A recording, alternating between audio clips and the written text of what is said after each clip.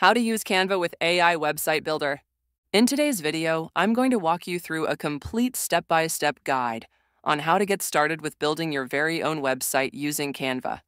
Now, Canva has recently rolled out several exciting new updates, and one of the standout features is the ability to create multi-page websites. Previously, Canva websites were limited to just a single page format. This meant that users could only build long, scrollable pages which worked well for portfolios or landing pages, but lacked true navigation or sectioning. With the new multi page functionality, Canva now enables you to create websites that feel more dynamic and user friendly. This upgrade allows for clear navigation, better user flow, and more professional layouts.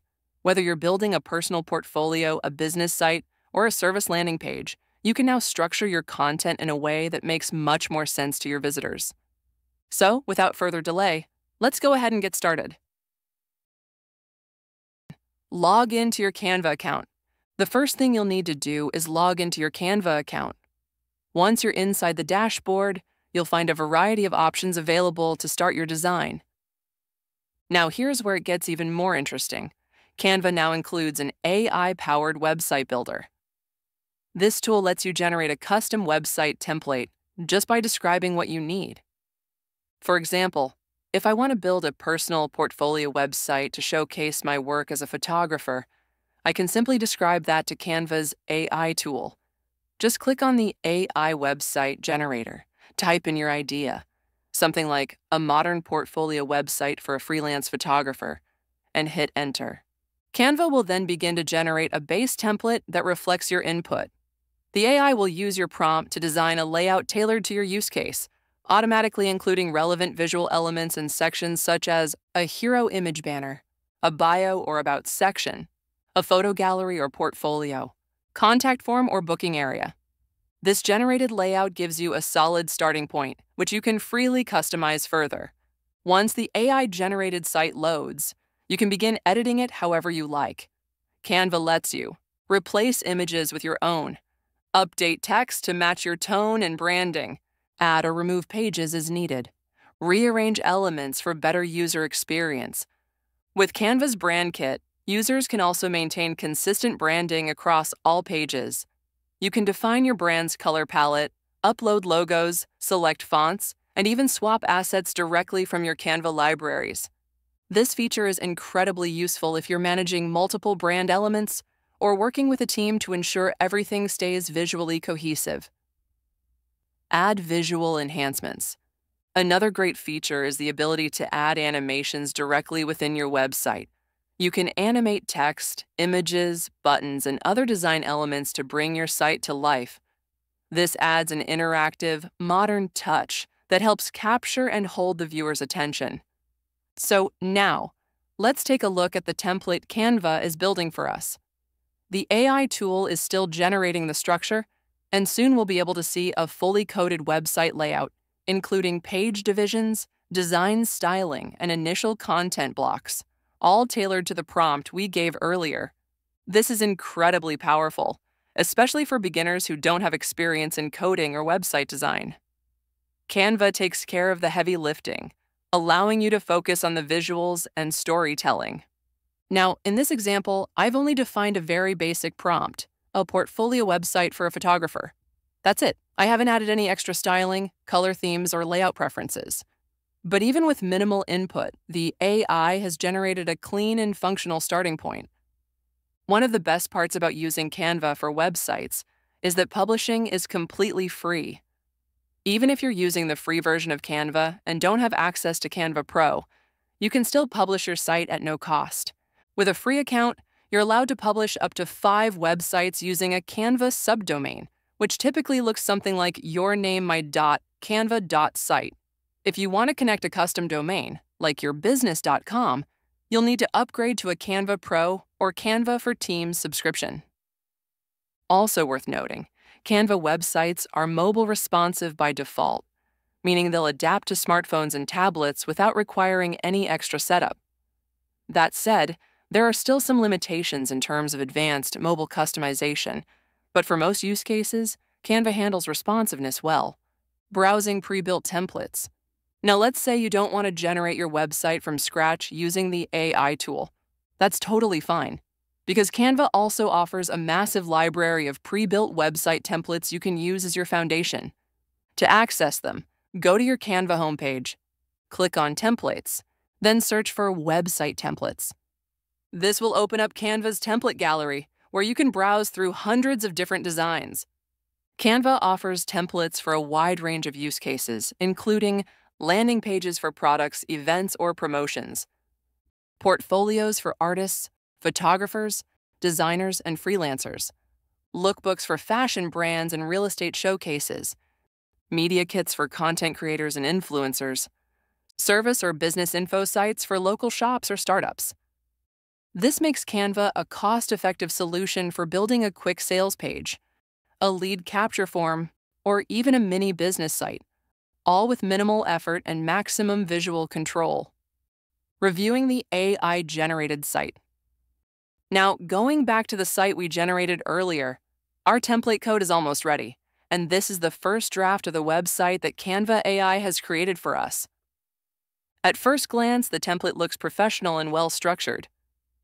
The layout includes multiple sections that make sense for a portfolio a hero section, an image gallery, a short bio, and a contact section. If I want to make any changes or additions, I can simply click on Use this in a design and then choose Website as the format.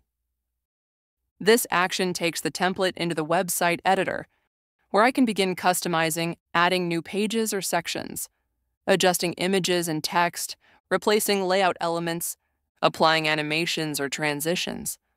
What I see now is the basic version of the website, and to give you a clearer view, I'll zoom in a little so you can better see how it looks on screen.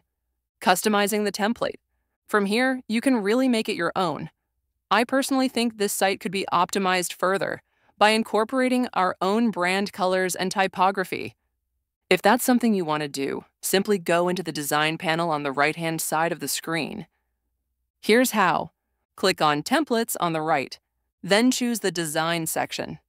In the search bar, type Portfolio to browse more professional templates. You can also use the Brand Kit if you're a pro user to quickly apply your own logo, brand colors, and font styles throughout the site. This makes the design process faster and helps you maintain a consistent brand identity across all your materials. Whether you're designing social media posts, documents, or a full website.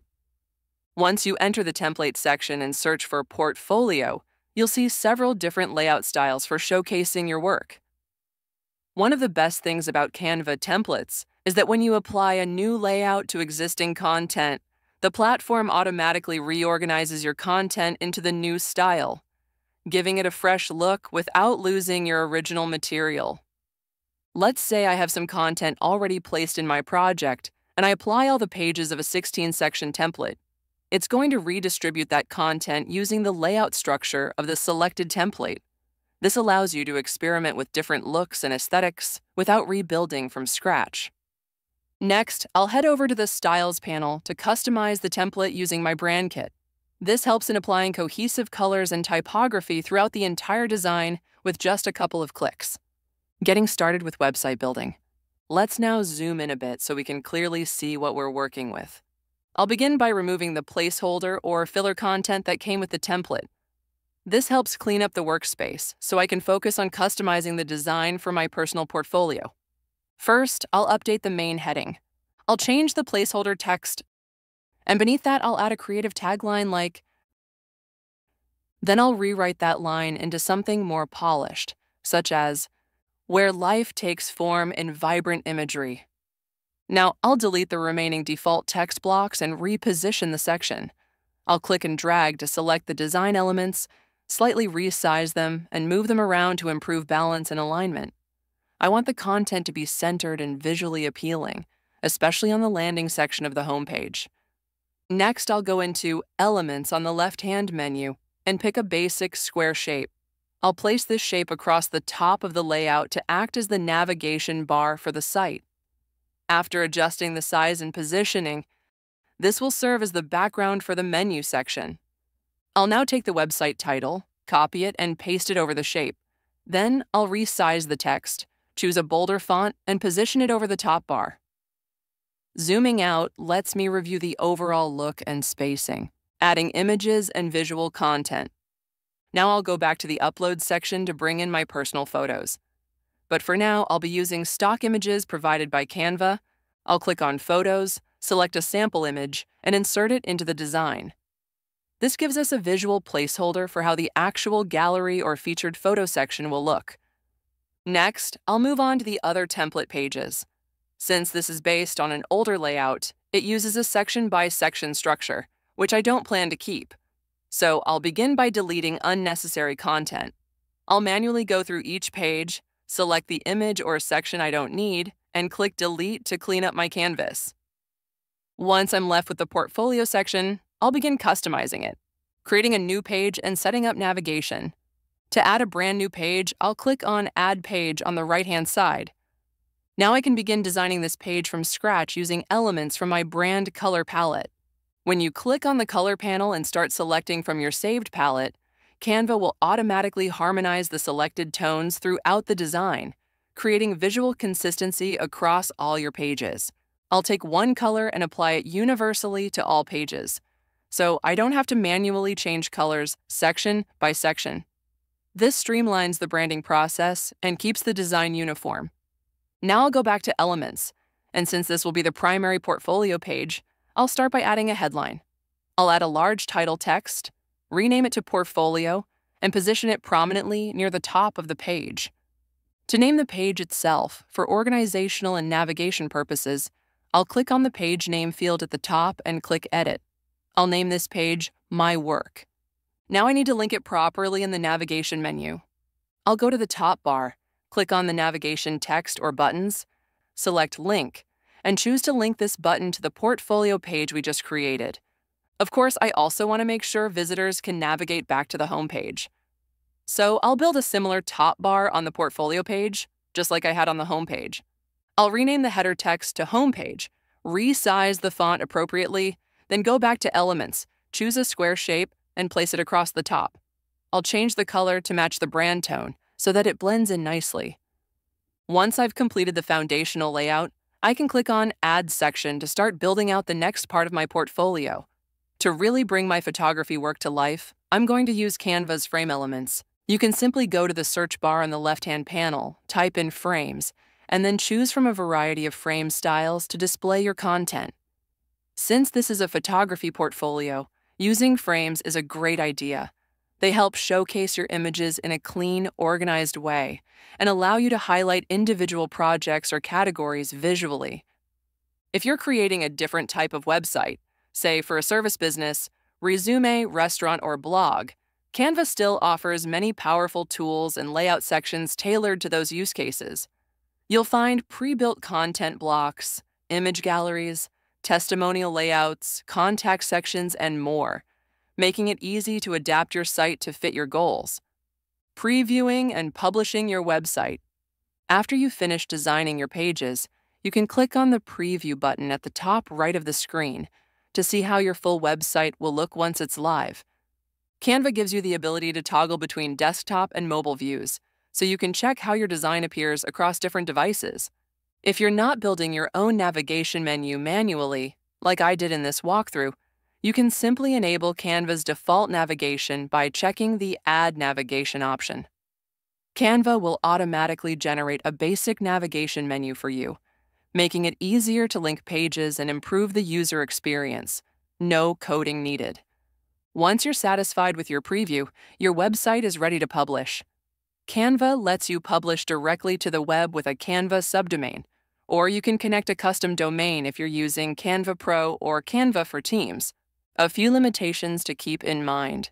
While Canva websites are powerful for quick, visually appealing launches, there are a few limitations to be aware of.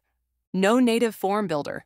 There's currently no built in way to collect leads or user submissions through forms. Limited SEO options. While you can set basic metadata like title and description, you don't get full control over SEO structure. No blogging functionality. Canva doesn't support blog posts, categories, or content feeds. Limited layout control on mobile. Although responsive by default, mobile customization is basic and lacks advanced flexibility. No export or migration options. You cannot export your Canva website for use on another platform. No native e commerce or checkout features. There's no built in shopping cart, so if you want to sell products, you'll need to connect a third party system like Stripe or PayPal. So while Canva is not ideal for large, complex, or scalable websites, it is absolutely perfect for simple portfolio sites, landing pages, quick marketing launches, event or resume websites, creative showcases. The addition of multi page support is a major step forward, making Canva a serious option for creators who need beautiful, fast, and flexible website designs without coding. I hope you found this video helpful. If you did, make sure to leave a like, subscribe to the channel, and drop any questions you may have in the comments down below. I'd be happy to help out. Thanks for watching, and I'll see you in the next video.